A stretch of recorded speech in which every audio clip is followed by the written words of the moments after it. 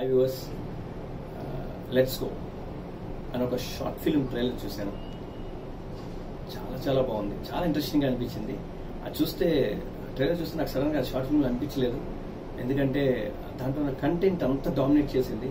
It's it's about a girl character ఒక బోల్డ్గా ఉండే గర్ల్ క్యారెక్టర్ని చాలా బాగా చెప్పాడు అనిపించింది నాకు మోహన్ పండ్ రెడ్డి ఎందుకంటే ఒక ఫిలాసఫికల్ అండ్ ఒక లవబుల్ అండ్ ఒక ఒక బోల్డ్ గర్ల్ గురించి చెప్పడం అంటే it's not an easy job అది చాలా బాగా చెప్పాడు అనిపించింది ఇందులో. ఎందుకంటే ట్రైలర్లో ఉన్న కంటెంట్ చూస్తే అర్థమైపోతుంది మనకి ఈజీగా షార్ట్ ఫిల్మ్ ఎంత బాగా వచ్చిందో అని. అలాగే ఆ కంటెంట్తో పాటు డామినేట్ చేస్తుంది ఏంటంటే అంటే ఆ విజువల్స్ ఎక్స్ట్రాడినరీ విజువల్స్ ఉన్నాయి. విజువల్స్ ఏంటి ఎక్కడ తీశారు ఇది? యూజువల్లీ షార్ట్ ఫిల్మ్ అంటే మనం అనుకుంటాం విత్ ఇన్ ద సిటీ లేకపోతే within the district or within the స్టేట్లో అని అనుకుంటాం. నేను అదే పర్స్పెక్ట్లో అడిగాను ఎక్కడ ఇది ఇంత బాగా ఉన్న విజువల్స్ ఎక్కడ అంటే సడన్గా డైరెక్టర్ చెప్పారు నాతో. It's Andaman Nicobar islands Andaman Nicobar islands ఎన్ని రోజులు చేశారు. టెన్ డేస్ అన్నారు. ఐ వాస్ రియలీ షాక్ నేను షార్ట్ ఫిల్మ్ కోసం అండమాన్ నికోబార్ నికోబార్లో చేశారా అని ప్రొడ్యూసర్ ఎవరు అని అడిగాను నేను. అనగానే తను ఇంట్రడ్యూస్ చేశాడు ప్రొడ్యూసర్ని మిస్టర్ ఉజిత్ విజిత్ అనే అతన్ని కలిసిన వెంటనే అర్థమైపోయింది. నేను అడిగాను ఒక క్వశ్చన్ అడిగాను.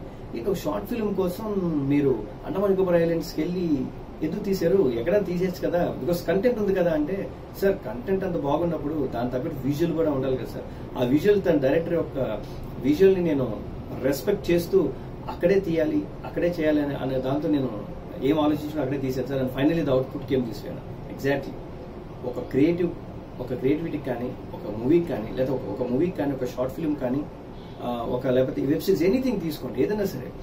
ఎంత గొప్ప కంటెంట్ చెప్తే దానికి తగ్గట్టే విజువల్ ఉంటేనే ఆడియన్కి చూసే వాళ్ళకి అది అన్ని ఆస్పెక్ట్ అన్ని అన్ని పెట్టినట్టు ఉంటుంది.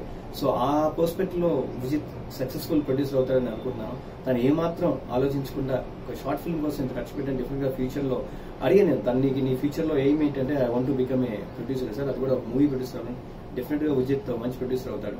నో డౌట్ ఆ సినిమా పట్ల కానీ ఆ క్రియేటివిటీ పట్ల తనకున్న ప్యాషన్ చూసి అర్థమైపోతుంది and coming back to director ఒక లవబుల్ క్యారెక్టర్ లేకపోతే ఒక జోవబుల్ క్యారెక్టర్ లేకపోతే ఒక ఒక మన రెగ్యులర్ ఉండే క్యారెక్టర్ తీయటం ఇస్ వెరీ ఈజీ అండి. అంటే వెరీ ఈజీ అంటే ఒక ఈజీగా మనం వెళ్ళిపోవచ్చు. కానీ ఒక బోల్డ్ క్యారెక్టర్లో తీయాలంటే దానికి చాలా మెచ్యూరిటీ ఉండాలి చాలా అనుభవం ఉండాలి చాలా ఎక్స్పీరియన్స్ అయి ఉండాలి.